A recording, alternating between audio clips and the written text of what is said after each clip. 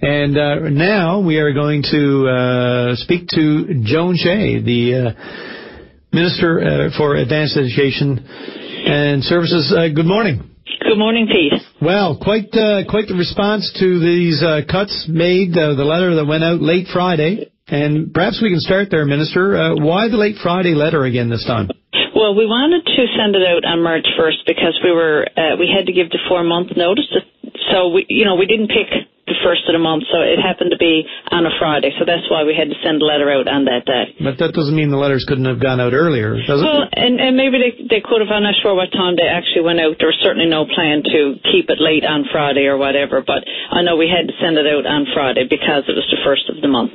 You don't think that there's a pattern emerging that things come out late Friday for uh, the obvious you know, uh, I guess fact that, that you go through the weekend then and perhaps some things have calmed down by Monday? None at all, actually, and it's unfortunate that that would be part of the, the assessment of what's going on here. This is a very serious situation, and, you know, we're certainly uh, uh, concerned about how this is going to roll out and the sensitivities involved in it, and that wasn't our intent. And I really would like to just clarify that because that, that would be the furthest from the truth because we've been working on this issue for quite some time, and, and I can tell you as we sat down and we looked at the dates and the possible dates and how it unfolds and, and what month we give notice and that, it certainly never ever came into question. We try to sneak this out on a on a Friday afternoon. You're saying that in all sincerity that this has yeah, nothing, I, I am. the late Friday has nothing to do with it whatsoever. Absolutely not. Yeah, no. Okay then. So, but I do want to address the issue because that, that's kind of taken away from the issue, making it like a side issue. But I do want to speak about the EAS offices and what the decision and how uh, and how we came to make the decision that we made. Okay. We had, uh, and I, I got to back this up a bit because uh, when we uh, came into government in late 2003, in our first budget in 2004, we brought in some major reforms at that time to the income support program through the department at that time of Human Resources, Labour and Employment. And what we did then was we looked at a, a, new service delivery of how we were going to deliver income support. And at the same time, we closed, we had 46 offices in the province and we closed 20 and had 26 sites remaining. From those 26 sites, we delivered income support in a different way, in, in a more computerized way, I guess, than what we had previously. And at the same time, in 2004, we decided that we would start opening uh, career work centres across the province, and we'd put a focus on helping people attached to the labour market. Mm-hmm. So we opened the first career work centre in 2005. And basically our career work centres are places where people can go for employment counselling, assistance with resume writing, uh, referral to employment programs, to inquire about training, funding. Uh, we also provide information in our centres about the student aid program.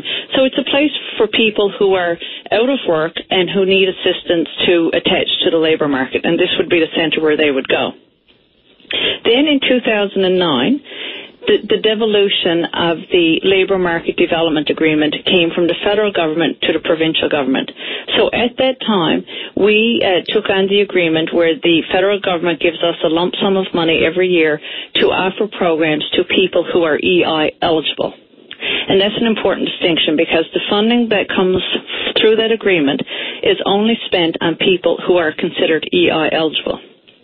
So with that agreement, we also inherited the EAS offices. These are the ones now that we announced that we're going to close. Mm-hmm. So what we've had been going now since 2009, and when we when we through the process of devolution, we agreed that we would keep the offices open until March of 2012, but we actually extended them for a year.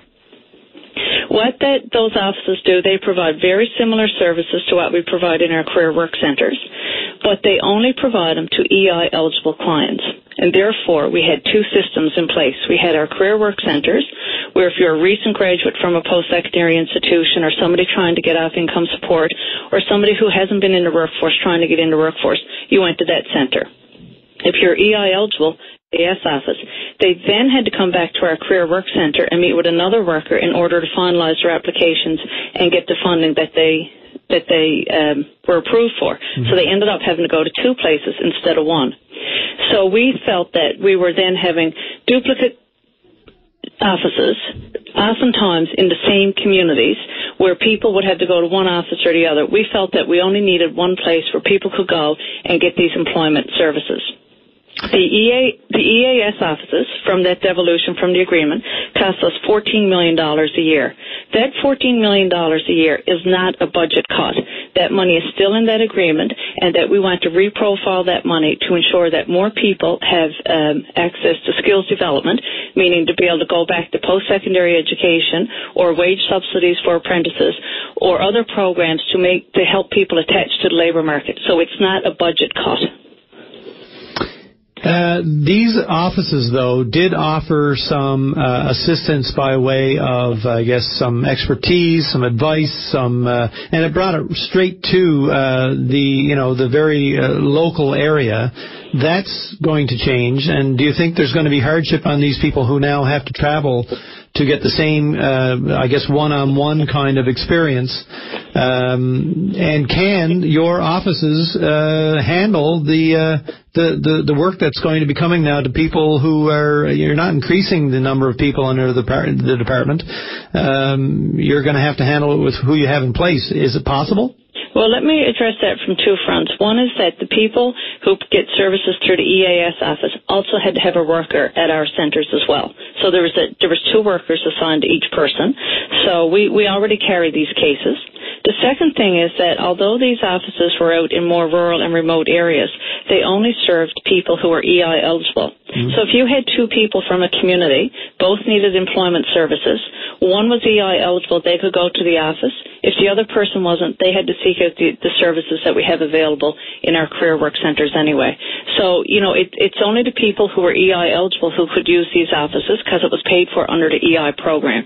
Uh, so the, the centers that we have set up, and there'll be 26 sites where we do, where we have our career work centers or other offices offering employment services. Anyone other than those EI eligible would have to use these offices anyway. So it was a two-tier system set up. Hmm. I guess you're going to have another 220 some odd people now to deal with. That's the most unfortunate part of this decision.